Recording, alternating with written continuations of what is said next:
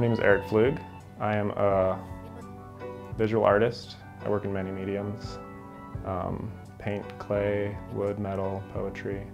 I'm originally from Omaha, Nebraska.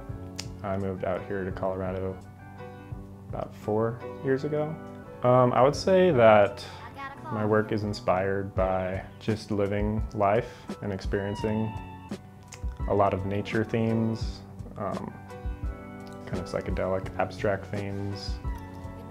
I think most of all, it's just creativity in general and making stuff and not really looking for inspiration, but creating consistently and work just comes out of that and evolves naturally.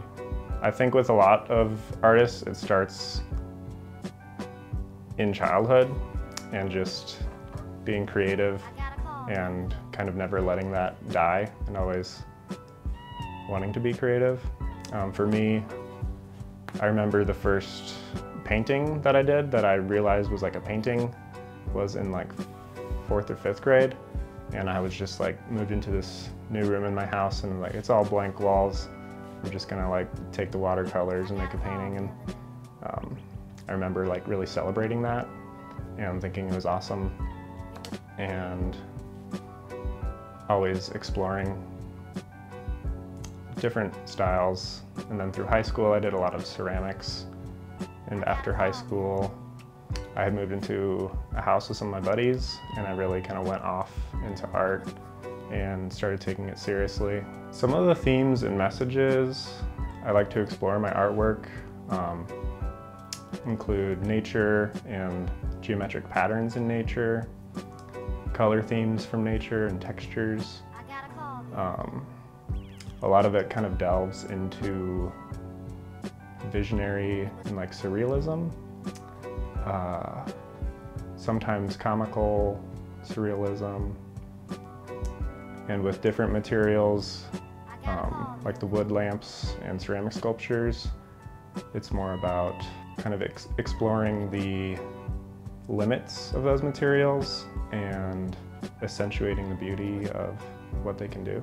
There's so many incredible artists that I admire, their work and who they are as a person especially here in Colorado. It's hard to um, get into who specifically. I don't want to start naming names because I feel like I'll leave people out and there's the list is probably like hundreds of people, but yeah, I definitely say the visionary community in Denver and abroad. Um, so many great artists there. Everyone here at Tinkermill is incredible. Um, so many people making different things sharing ideas. I think there's, anywhere you look here, there's going to be someone in your backyard who's making awesome stuff and has great ideas and potential for um, kind of revolutionary art. My creative process usually starts with me working on one thing and then um, sometimes like getting distracted or um, discovering something about a material or an idea and kind of diving into that. A lot of times I'll make a sketch or a series of sketches of an idea that pops in my head and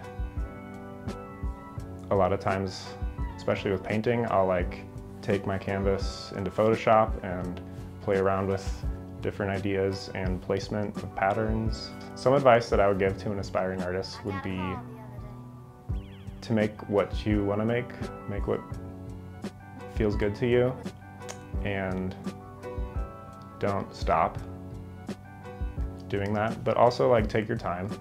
It's it doesn't happen overnight. Your skills are gonna grow probably more slowly than you think. The harder you work, the faster they'll grow. Um, keep applying for things. Don't get attached to any specific gallery or show. Um, you know, just apply and forget about it, see what happens later. Um, but yeah, always just keep making art.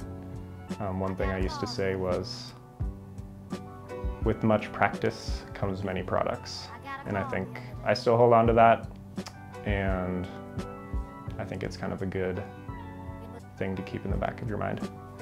It's hard to say because the art scene is pretty great here in all of Colorado.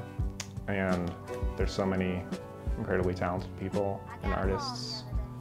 Um, but I think it would evolve to become a more sustainable career and respectable path for people.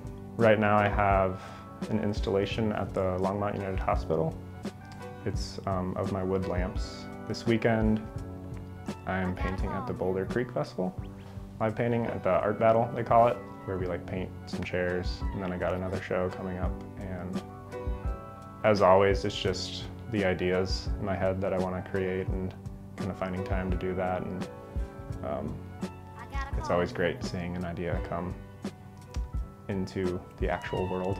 Some of the other things I'd like to bring awareness to are, first of all, my brand, EP Originals. Um, I worked really hard on building a website and putting everything together to make it look professional and provide artwork for people of all different, um, I guess, classes. I'd say check out Tinkermill if you're in the area. It's a great spot to come and make stuff and hang out. I just look forward to meeting people out in the world and sharing art and creativity and inspiration.